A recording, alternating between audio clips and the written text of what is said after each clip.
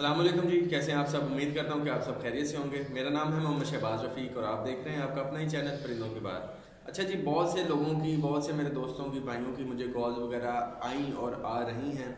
ये जो आजकल जो सिचुएशन बनी हुई है बर्ड्स की, ये जो रेट्स हैं, स्पेशली जो कि कमर्शल बर्ड्स हैं, जो कि बहुत कम होता है कि उनके रेट्स इतने डाउन हो जाएँ, ठीक है? तो इस दफ़ा बहुत ज़्यादा रेट्स डाउन हुए हैं, ठीक है?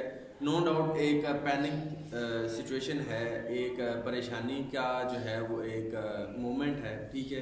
तो लोग परेशान हैं ठीक है? इसमें हम भी शामिल हैं ठीक है?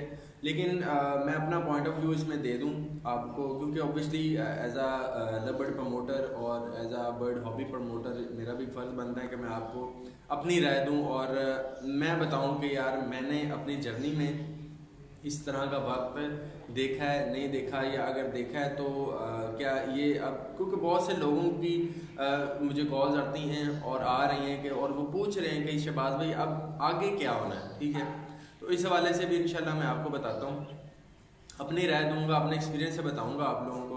देखें एक चीज़ मैं हमेशा सब लोगों को कहता हूँ ठीक है? पिछले साल में जब रेट्स कुछ डाउन हुए तो तब भी मैंने ये बात की थी। मैं ये हमेशा लोगों को बताता हूँ कि देखें, सबसे पहले अगर आपका ईमान और तवक्ल जो है वो अल्लाह ताला के ऊपर पुख्ता है ना, यकीन आपका पुख्ता है ना तो ये देखें, अल्लाह ताला के हुक्म और अल्लाह ताला की रज़ा के ख़िलाफ़ कोई चीज़ नहीं हो सकती दुनिया में, ठीक है?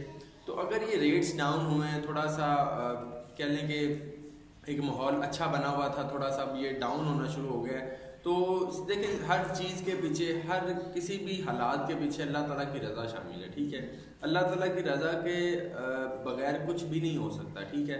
अल्लाह ताला हमेशा कुछ नुकसानात देकर, कुछ परेशानियाँ देकर इंसान को सिखाता है, ठीक है? तो मेरे ख्याल से हमें बजाय मज़ीद परेशान होने के, हमें इस चीज़ से कुछ सीखना चाहिए। हमें अपने आप को कुछ, जो है ना, अपडेट करना है।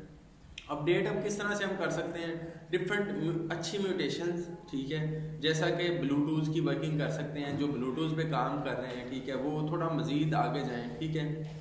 कोशिश करें कि और एक चीज़ और आप ना भी अपडेट करें, लेकिन आपका बर्ड जो है वो इतना हेल्दी और अच्छा होना चाहिए कि यार आपका बर्ड जो है ना वो बिक जाना चाहिए ठीक है?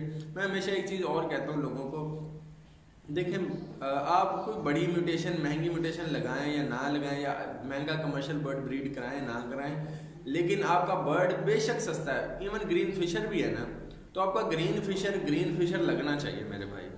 ग्रीन फिशर जो है, वो देख के इंसान का दिल खुश हो जाना चाहिए, ठीक है? अगर आपका बर्ड अच्छा और हेल्दी है ना तो मेरे भाई, वो आपका इजीली बिक जाएगा। और अगर आपका बर्ड हेल्दी और एक्टिव नहीं है ना तो मेरे भाई फिर पेन फेलो ले हैं, फिर ग्रीन फिशर है या क्रीमिनो है डेकिनो कोई भी बर्ड आपका बेचना मुश्किल हो जाएगा, ठीक है? मेरे, मैं एक चीज़ आपको बताता चलूँ, देखें बर्ड आज भी सेल हो रहा है और बर्ड दो साल, तीन साल, बीस साल पहले भी सेल हो रहा था। मसला ये है कि रेट्स अप डाउन हुए हैं थोड़े से, ठीक है? आज भी अगर मैं बात करूँ तो अल्बाइनो रेडाइज ईजीली कोई छः हज़ार रुपये का तो मेरे ख्याल से आराम से सेल हो रहा है, ठीक है? इससे नीचे तो मेरा ख्याल है अभी फिल वक्त प्राइस नहीं आई। और अगर आई भी है तो कोई ऐसा इशू नहीं, ठीक है? मेरे हिसाब से अभी तक छः हज़ार तो प्राइस इजीली ब्रोकर्स दे रहे हैं, ठीक है? ब्रोकर्स और मार्केट में हंस के ऐसे हाथ, हाथों के हाथ बेकर है, ठीक है? ये मैं आपको अपना एक्सपीरियंस बता रहा हूँ। मैंने जाकर रेट्स पता किए हैं और मैंने कुछ बर्ड एज आ मतलब टेस्ट के लिए मैंने सेल भी किए हैं कि यार रेट क्या मिल रहा है? ठीक है? ज़्यादा से ज़्यादा साढ़े छः हज़ार और कम से कम छः हज़ार रुपये रेट मिला है ठीक है? तो ये रेट्स चल रहे हैं ठीक है? इसके अलावा करीबनो डैकिनो के भी और डिफरेंट रेट हैं उनकी मैं फ़िलहाल बात नहीं करूँ मैं वैसे एक समझाने के लिए आपको एक बर्ड का मैंने रेट बताया ठीक है?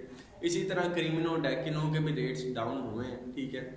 तो एक चीज़ आप ये भी देखें कि देखें मौसम का भी कुछ इफ़ेक्ट था इस चीज़ के अंदर ठीक है? कुछ हमारे जो आ, जैसे कि हमारे ब्रांड्स हैं जैसे कि पीएलएफ हो गया या और दूसरे भी आ, हमारे जैसा कि बड़े ब्रीडर हजरात हैं मैं नाम नहीं लेना चाहूँगा ठीक है? अब इन्होंने कुछ ने जो रेट लिस्ट वगैरह जो है वो दी थी वो ओबियसली उन्होंने कम दे दी तो फिर बाकी लोगों ने फिर उन्हीं को फॉलो करना था और ओबियसली बाकी लोगों का रेट्स डेफिनेटली थोड़ा कम ही होना था। तो नौ दस हज़ार रुपये उन्होंने रेट दिया था तो उस हिसाब से अगर लगाएँ तो नॉर्मल बंदा ज़ाहिर सी बात है, फिर छः सात पे बेचेगा ना। तो ये इफ़ेक्ट पड़ा ज़रूर है नो डाउट इसका जो है वो, ये उनसे गलती हुई ज़रूर है। अभी अभी जो लास्ट संडे गुजरा इवेंट था, एक वहाँ पे मैं इनवाइटेड था। तो वहाँ पे भी रेट लिस्ट के बारे में हमने जो है वो बात की है। और उन्होंने चौधरी साहब हैं, ठीक है, वो और सरदार फाई साहब, जहाँ पे गड़ी शॉप जहाँ पे पिछले साल भी एक इवेंट हुआ था, उसी जगह पे दोबारा इवेंट हुआ है। जहाँ पे मैं इनवाइटेड था तो वहाँ पे भी रेड लिस्ट के बारे में स्पेसिफिकली बात की गई है। लोगों को बताया गया है कि यार अब हमने करना क्या ठीक है? तो इन शॉर्ट देखें यार, परेशान ना हो ठीक है? अभी भी रेट जो है ना, जितना भी है, अल्लाह ताला का शुक्र अदा करें, अपने आप को आगे बढ़ाएँ, ठीक है? परेशान होना छोड़ें, ठीक है? कुछ मज़ीद अब आगे का सोचेंगे, यार हमने करना क्या है, ठीक है? अपने शेड्स को अच्छा रखें शेड्स में वेंटिलेशन अच्छी रखें अब आपने करना क्या है कि अब आपने अपने डेड इन शेल ठीक है, अपने जो मोटेलिटी रेशो है, उसको कम करने के बारे में सोचें। ना कि सोचें कि यार, लबड़ मर गया, पिट गया, रेट ख़राब हो गए। नो आपको सिर्फ़ ये सोचना है कि, यार, हमने डेड इन शेल कैसे कम करना है? अपनी मोटेलिटी को कैसे करना है कम करना है? और अपने शेड की वेंटिलेशन कैसे अच्छी रखनी है? दाना कैसे अच्छा देना है? अपनी कीपिंग को अच्छा करें मेरे भाई।